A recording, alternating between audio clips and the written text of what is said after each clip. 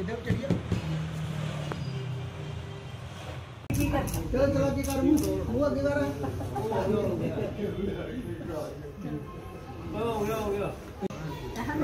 ये ये पाओ ना पाओ पाओ मुँह इधर तको उसी इधर तक उधर देखो। con giờ cái cái nó dù rồi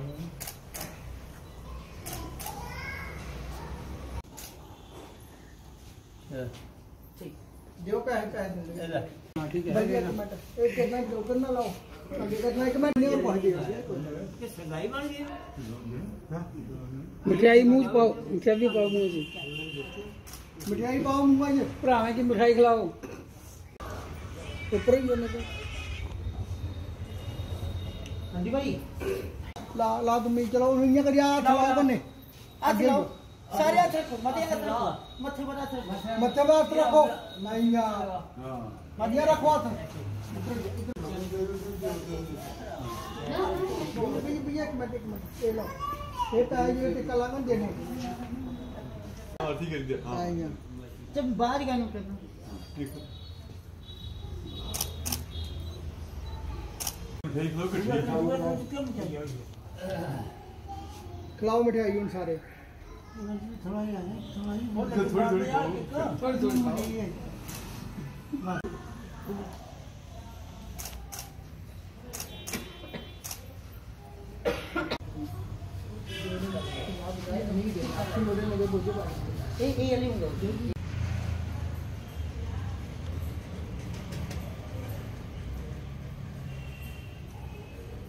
ठहरो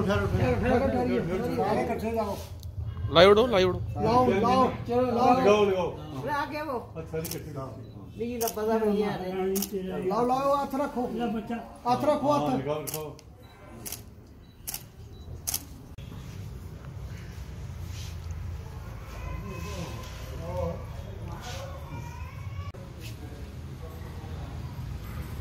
चलिए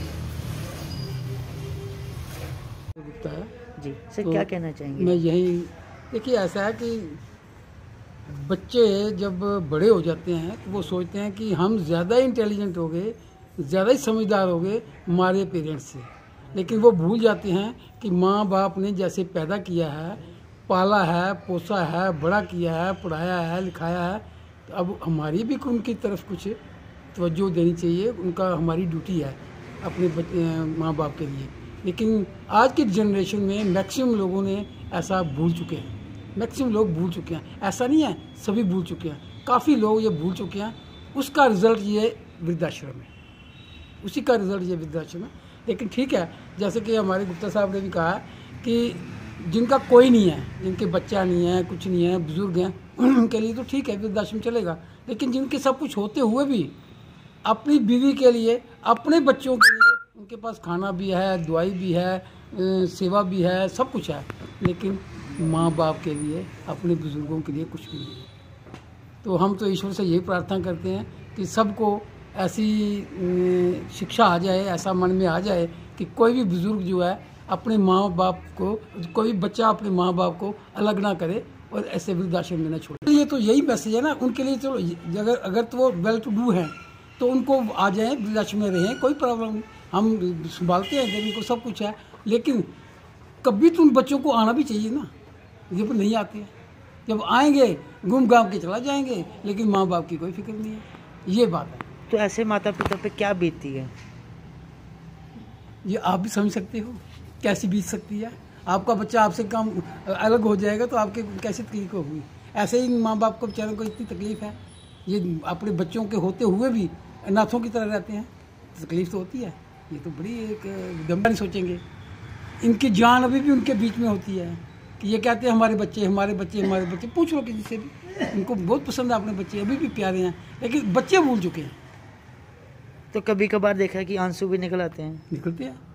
निकलते हैं जब ऐसा जैसे ना जैसे अब हम मना रहे हैं ये त्यौहार मना रहे हैं जैसे दीपावली बनाई राखी आती है होली आती है हम सभी तो यार यहाँ मनाते हैं। लेकिन इनके मन में क्या होता है कि कुछ भी करें हम लोग अपने तो हैं ही हैं लेकिन फिर भी अपना खून तो नहीं है ना इनके पास। तो इस बात की तो दुख होता ही है। क्यों नहीं होगा? ज़रूर होगा। और होना भी चाहिए। इंसान है हम लोग।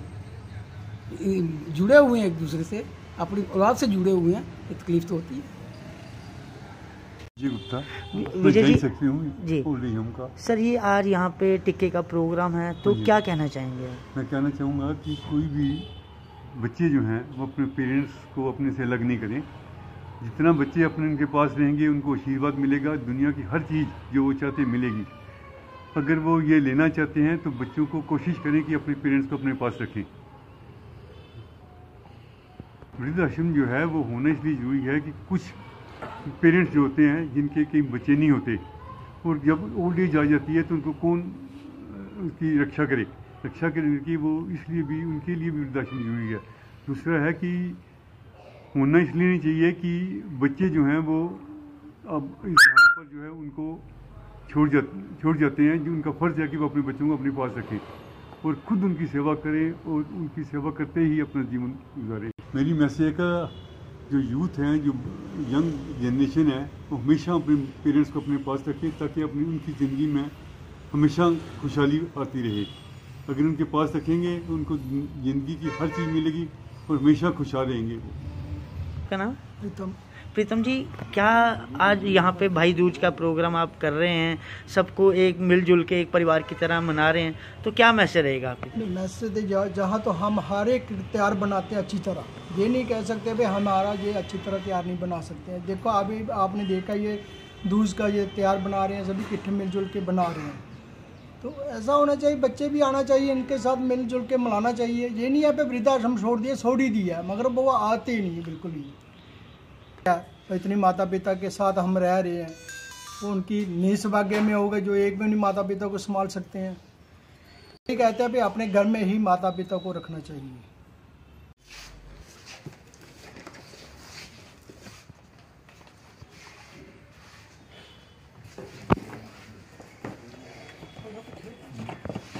कोई नहीं